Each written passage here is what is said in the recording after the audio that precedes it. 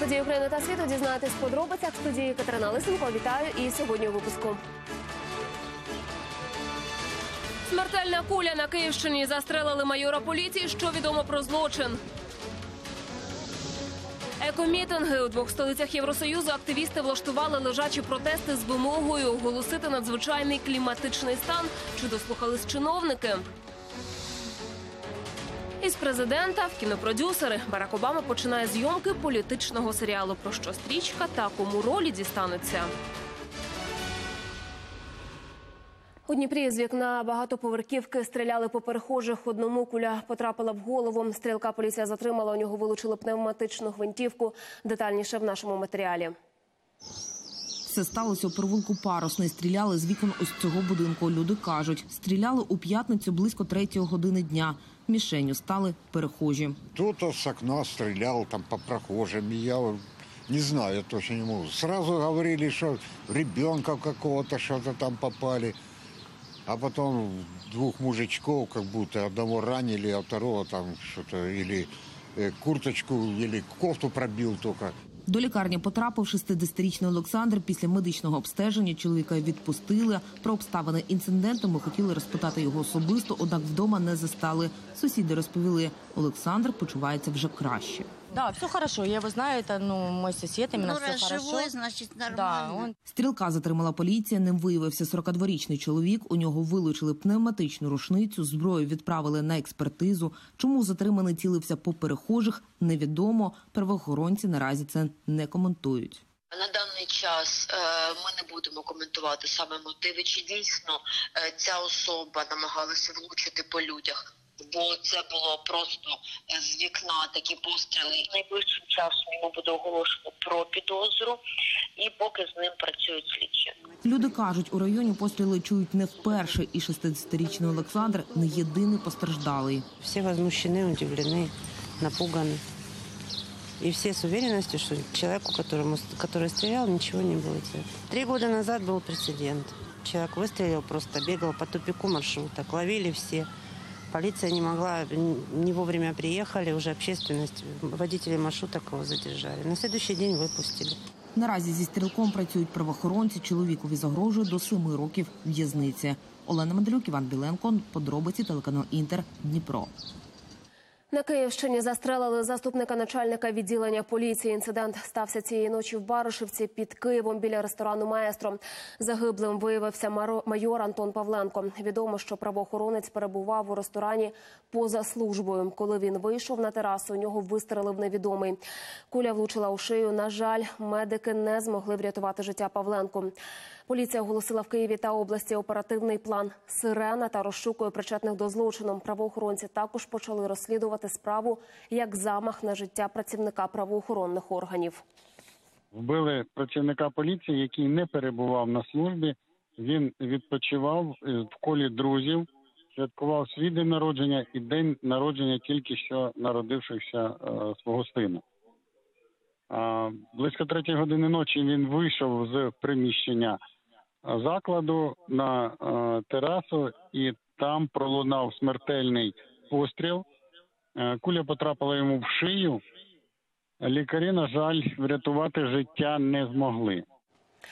Побиття черкаського журналіста Вадима Комарова будуть розслідувати як замах на вбивство. Про це повідомили у поліції.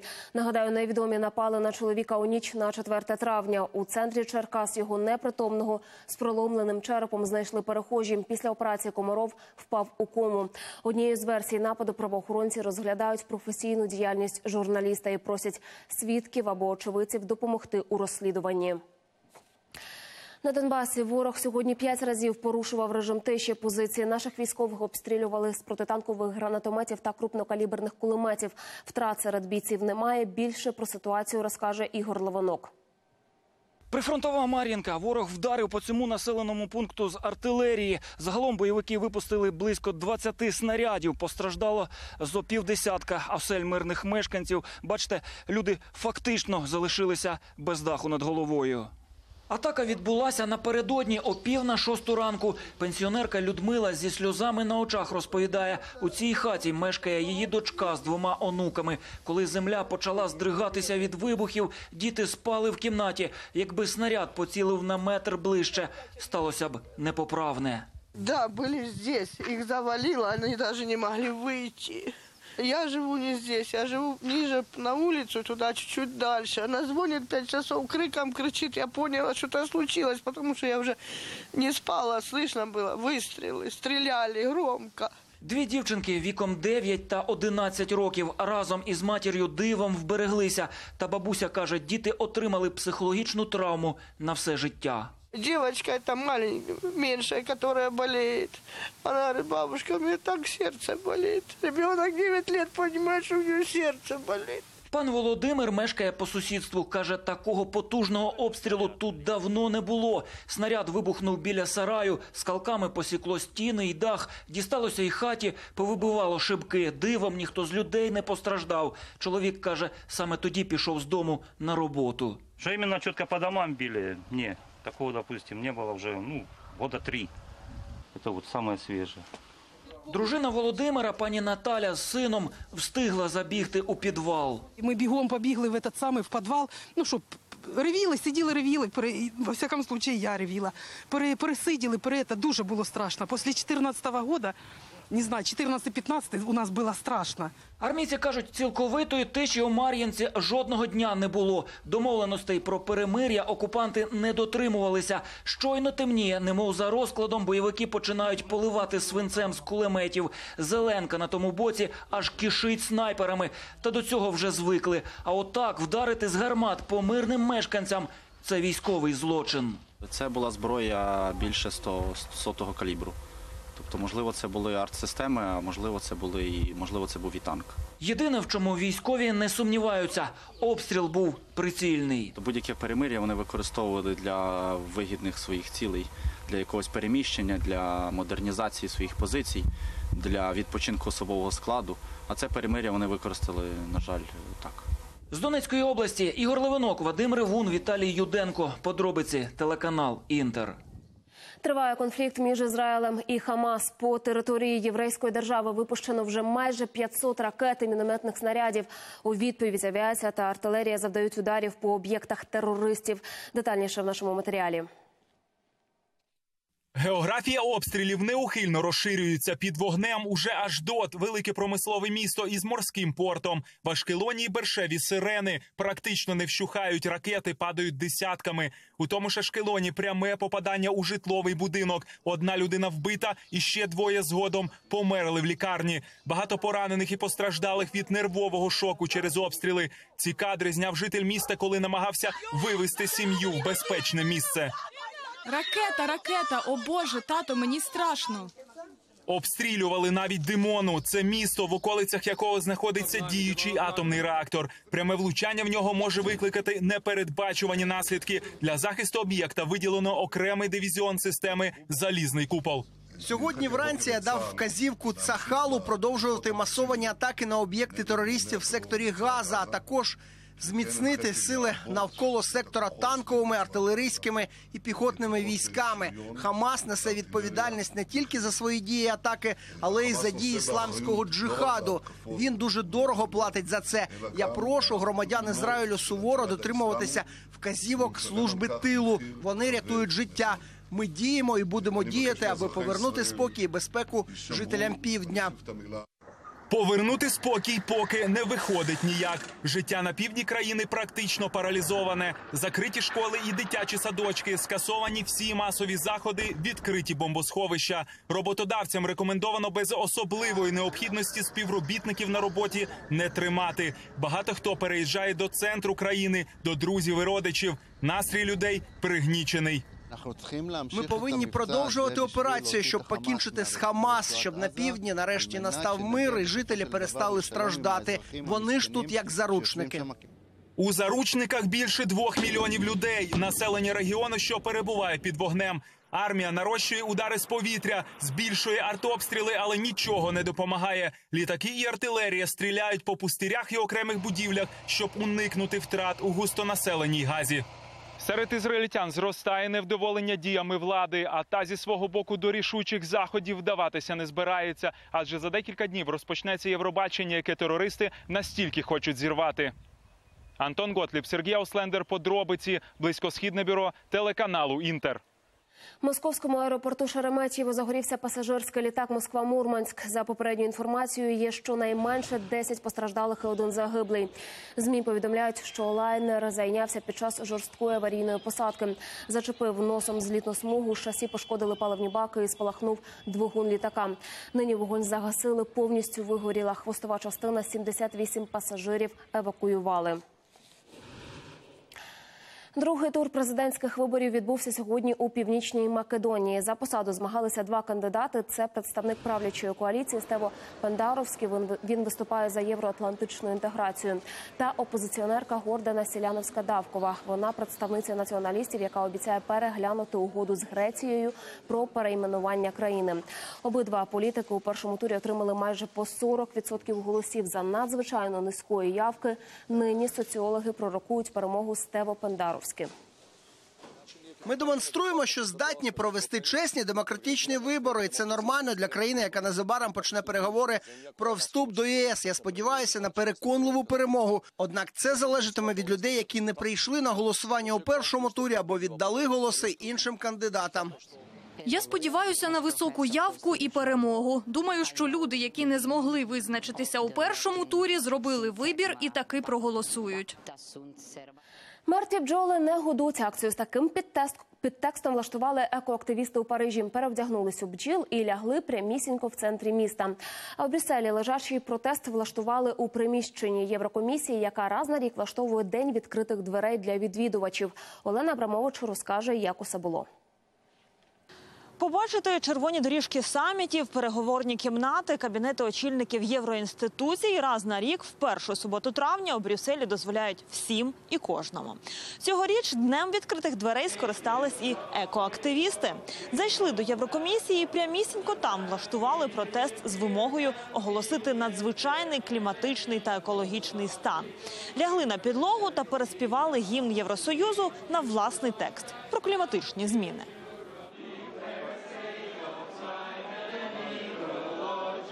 Про смертельні загрози людської діяльності теж за допомогою лежачого протесту намагались донести і активісти зі всесвітнього фонду природи у Франції. Переодягнулись у костюми бджіл, озброїлись плакатами Пестициди це смерть і закликали владу та сільськогосподарський бізнес схаменутись, бо звичні технології убивають. Ми втратили 60% видів овочів по всьому світу за останні 40 років. Це величезна проблема. Мільйони видів комах і тварин теж зникають внаслідок людської діяльності. Нам доведеться змінити наші виробничі методи, наші методи споживання та майже всю економіку.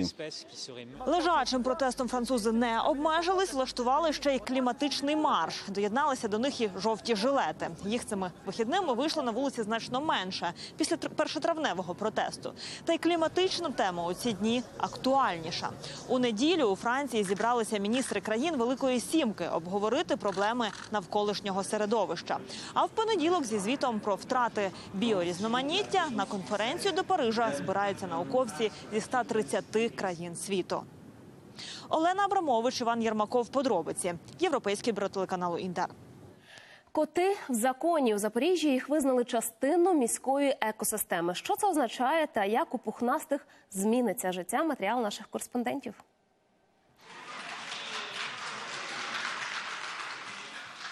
Я так розумію, що тепер всі коти місто, міста Запоріжжя, як кажуть, під охраною е, Запорізької міської ради. А, я типу буду котячим батьком, ну щось так. Ось так весело і одностайно запорізькі депутати голосують за те, що коти віднині частина місцевої екосистеми. Відповідна електронна петиція набрала необхідну кількість голосів. Це означає, що пухнастики можуть вільно жити в підвалах, на горищах та взагалі будь-де. В первую очередь петиция была создана из-за участившихся случаев э, заживо замурованных э, котов и кошек в подвалах. Э, несчастные животные не могли выбраться наружу.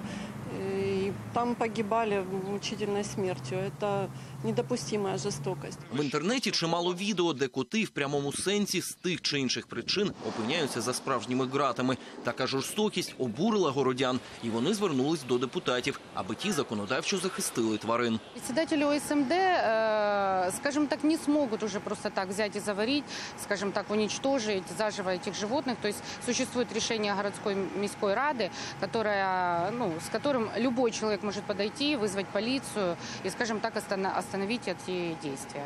До того ж, кажуть активісти, від котів у місті неабияка користь. Они ловят крыс, если подвалы не замуровывать, и здесь не будет мышей, здесь не будет грызунов, это хорошо. Там, де мешканці будинків будуть товаришувати з вуличними тваринами, кажуть комунальники, можна створювати такі собі котобудинки, як, наприклад, ось цей в одному з парків у самому центрі Запоріжжя. Активісти навмисно збудували його на дереві, аби собаки не дістали, а підгодовують пухнастих усі небайдужі. И Саньки. Выходи. Та всім неважко догодити, кажуть прибічники вуличної фауни. Є й ті, хто терпіти не може котів. Они, вон, было здесь у нас во дворе, жило около восьми белок. Где хоть одна белка? Съели, коты съели, все съели. Та як би там не було, але тепер запорізькі коти в законі. Після Києва, Дніпра та Харкова місто стало четвертим, де ці тварини невід'ємна частина екосистеми. Олексій Пшемиський, Сергій Бордюжа, Ігор Воробій. Подробиці, телеканал Інтер, Запоріжжя. На Закарпатті вже масово ласують полуницею. Господарства розпочали збирати ягоду у теплицях ще два тижні тому. А комерційні партії надійшли на ринок напередодні великодніх свят. Продавці запевняють, ягода екологічно чиста і цілком придатна для споживання дітям. Переконалися у цьому і мої колеги. У Виноградівському районі на Закарпатті дозріли гектари улюбленої багатьма ягоди. Наразі полуниця тільки парникова, однак на ринках продавці не встигають поповнювати її запаси. Зранку був цілий ящик, а вже розібрати. Так. Можна дітям сміло давати. Це домашня вже клубнічка. Продавці розповідають, цьогоріч полуниця у парниках дозріла на тиждень раніше, ніж зазвичай. Ціна за кілограм 150 гривень. Однак бажаючих нею поласувати ціна не зупиняє. Да, чудово. Хочу вам сказати, що можете брати. Дуже класно. Перша полуниця у парнику Василя Кадара з'явилася зо три тижні тому. Цьогорічний врожай на диво щедрий. Вітамінні ягоди чоловік вирощує лише для сім'ї. Запевняє, усе в його господарстві екологічно чисте і на смак не відрізняється від ґрунтового. Тут посаджений сорт Альба. Не знаю, чому він у мене саме перший виноградові пустих. Напевно, тому що теплиці з полікарбоната. Ця теплиця зроблена для, скажімо так, екологічно чистої продукції. Тому тут нічого такого не було використано. На Виноградівщині теплий клімат, тож і вітамінні ягоди у відкритому ґрунті дозрівають одним з перших в Україні.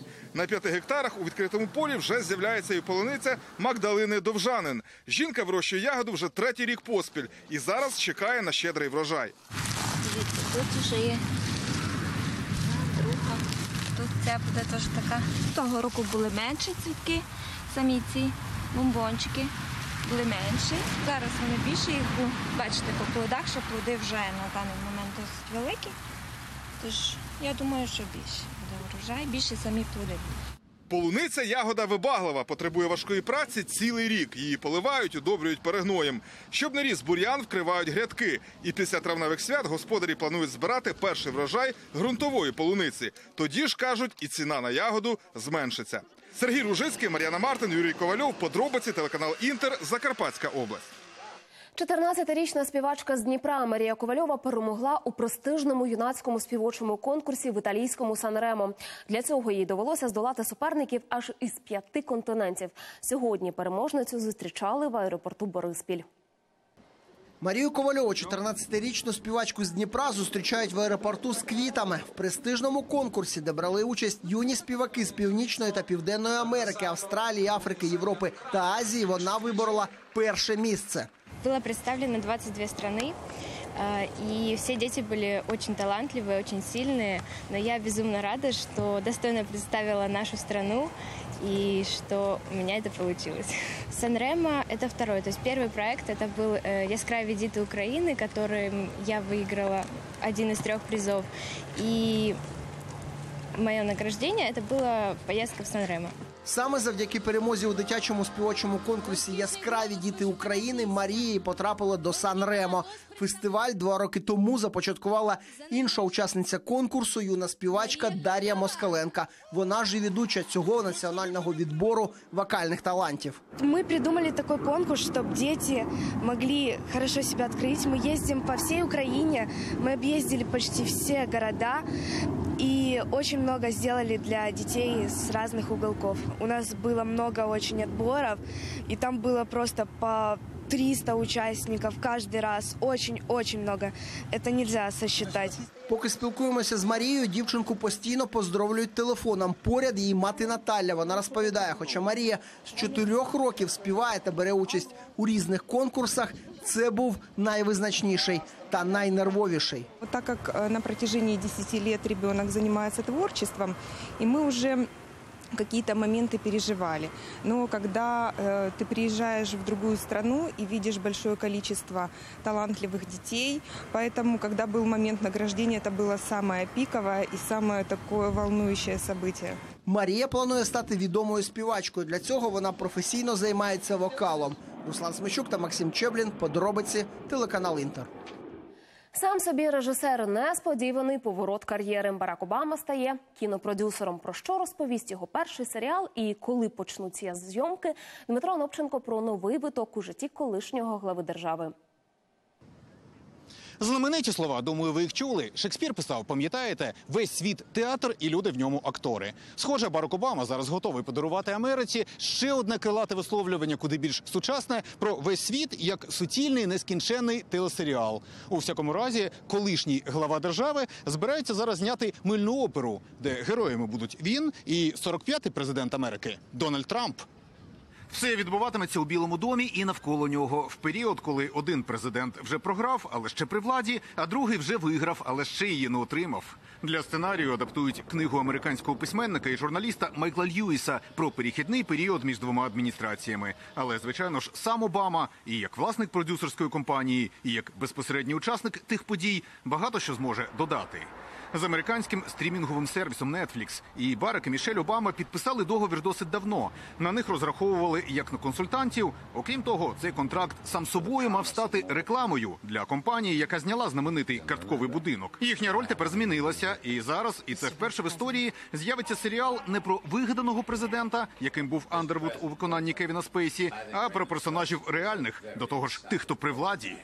Люди, які мали доступ у Білий Дім за часів минулої владної команди, розповідають, наскільки сильно президент Обама любив серіал Картковий будинок. Він не пропустив жодної серії. Він особисто зустрічався із виконавцем головної ролі. Він навіть у президентському твіттері писав, коли новий сезон виходив. Саме тому для зйомочної групи і були відкриті двері багатьох адміністративних будівель. Зокрема, певні епізоди просто в конгресі знімали. Зрозуміло, що для нового серіалу, серіалу Обами, е, Дональд Трамп не дасть дозволу на зйомки не тільки у Білому домі, але навіть і тут, на галявинці, де преса зазвичай для новин працює. Тож доведеться будувати всі декорації самим, а також обмежитися вулицями Вашингтона, які і до цього часто ставали знімальним майданчиком. Наприклад, ось цей кортеж, який довірливі туристи фотографували поблизу капітолію і викладали в мережу. Зовсім не справжній. І пасажири, і охорона, і навіть поліцейські всі актори. Сам Обама, подейкують, давно мріяв спробувати себе в ролі кінопродюсера. Його компанія, окрім політичного серіалу, планує тепер зняти ще й документальний фільм про інвалідів і історичний серіал про нью-йоркську моду. Тож для нього це насамперед бізнес. Хоча перший проект все ж дозволить за бажання звести давні рахунки з нинішнім господарем Білого Дому. І напередодні виборів, а до них всього рік, розставити акценти і розповісти недавню історію так, як хотілося б самому Обамі. З Вашингтона Дмитро Анопченко, Сергій Дубінін, американське бюро телеканалу Інтер. Що знайшли єгипетські вчені біля пірамід? Як виглядають понад 200 тисяч галактик на одній фотографії? Та як німецький уряд планує боротися з батьками невакцинованих дітей? Про це та інше далі в нашому огляді. Майже 2,5 тисячі євро штрафу за відмову вакцинувати дітей. Відповідний законопроект нещодавно розробив міністр охорони здоров'я Німеччини Єнс Шпан. Документ передбачає штраф для тих батьків, які за будь-якої причини не вакцинують дітей від кору та інших небезпечних захворювань. Окрім цього, малюкам, які не мають щеплення, планують заборонити відвідування дитячого садочка. Загалом у Німеччині нараховується 93% вакцинованих дітей. Проте Шпан планує підвищити цей показник до щонайменше 96%. Нова Зеландія вперше за кілька років вивела на космічну орбіту ракету з трьома апаратами на борту. Запуск відбувся на півострові Махія. Частина сателітів належить військово-повітряним силам США. Вони будуть надсилати супутникові знімки землі, а також відстежувати роботу міжнародної космічної станції. До кінця року приватна космічна компанія планує виконати ще 16 місій з запуску космічних зондів. Вони будуть працювати як GPS-навігатори. Найдетальніше зображення всесвіту вперше продемонструвала американська космічна компанія НАСА. Вони опублікували знімок, який був зроблений за допомогою телескопу Хаббл. Фотографію складали із 7 тисяч знімків протягом 16 років. Вчені розповіли, що на фото вмістилися майже 265 тисяч галактик, а важить оригінал зображення 250 гігабайтів. Стародавні реліквії знайшли єгипетські археологи поблизу однієї з пірамід. Вони розкопали одну з гробниць часів давнього царства. В ній, окрім різнокольорових трун, лежали дерев'яні та глиняні маски. Приблизний вік знахідки становить майже 4,5 тисячі років. Усі артефакти планують відправити на експертизу вже найближчим часом. Так вчені зможуть дізнатися більше про побут давніх єгиптян. Таїланд святує коронацію монарха Рами X, яка відбулася напередодні.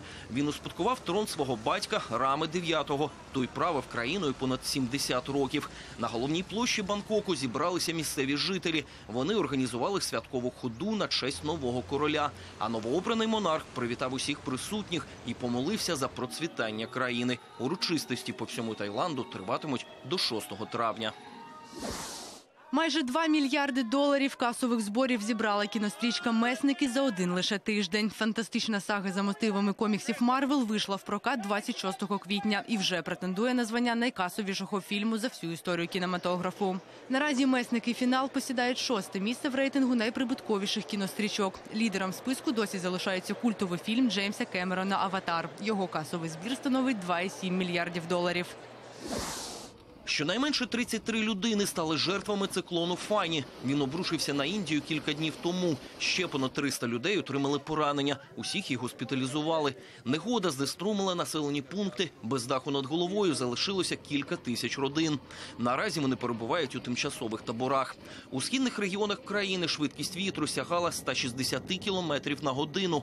Місцева влада евакуювала з зони стихійного лиха майже 60 тисяч людей. Циклон Фані став найруйнівнішим за останні 20 років. Квітуче середньовіччя на Закарпатті в замку Сент-Міклош можна побачити лицарів, дам у пишних сукнях, а ще справжніх герцога та герцогиню. Кімнати ж фортеці прикрасили 30 тисяч троянд. Два дні тривав фестиваль кохання та квітів. Мої колеги готові поділитися враженнями. Квіти скрізь на стінах та підлозі, підвішені до стелі у відрах і навіть як прикраса у волоссі. Это композиция м, современной не- невесты, вот, которая сделана из очерета а вот, э, и чесаного. И здесь э, присутствует 50 троянд. Очеретні локони флористи створювали майже два тижні. А ось каркас для цього двометрового серця троє майстрів виготовили за два дні. Тут 400 троянд. Ми використовували матеріал природній. Ми використовували, використовували е, гілки е, тополя. Також ми взяли листя, також трансформували їх, показали з іншої сторони. Використовували цяжки. Ось також у нас кожна квітка вона є встановлена на пробірку. Вона п'є. Цьогоріч фестиваль кохання та квітів у Чинадіївському замку Сент-Міколош зібрав кілька десятків флористів з усієї України. Фортеця розквітла трояндами. Аби прикрасити споруду, використали майже 30 тисяч квітів, композиції, крила, гойдалки, колекції одягу з шишок, берези і навіть моху. Щоб створити таку красу, флористам доводиться опановувати не лише ботаніку. Нужно, конечно же, понимать, что ты работаешь не только с цветами, но и с проволокой, с лестницей, с дрелью, с какими-то там лобзиками. Ну, в общем, очень-очень всего много. У самому замку панувала справжня атмосфера середньовіччя.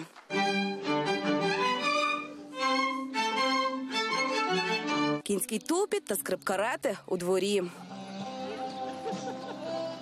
І скрізь лицарі, вельможі, пащі та справжній герцог і герцогиня, нащадки Габсбургів, арцгерцог Шандор та Грета Маргарет прибули на фестиваль з Австрії. Уперше ми побували тут минулого року і раді, що це все відбувається завдяки дружбі. Сподіваємося, що така справа сприятиме миру. Тут фантастично, дуже тепла атмосфера. Відчути себе справжніми вельможами могли і гості фестивалю, одягнені у вбрання середньовічного дизайну. Вони ходили замком. Це плаття, воно просто перевтілюється все. Мене зробило мене графинію. Ну а мешканець цього середньовічного замку Йосип Бартош каже, організував фестиваль з однією метою. Тільки одне враження це враження кохання, щоб воно вразило всіх і дуже глибоко. Саме любов, те, що панує в цьому замку. Та чи вдалося передати енергію кохання кожному? Відвідувачі стверджують на всі 100%. Нас переповнюють враження та емоції. Ще ніколи подібного не бачили. Це чудові і дуже романтичні моменти. Мар'яна Мартин, Юрій Ковальов, подробиці телеканал Інтер, Закарпатська область. Більше новин, як завжди, на нашому сайті Подробності є. Я бажаю вам гарного вечора та до зустрічі.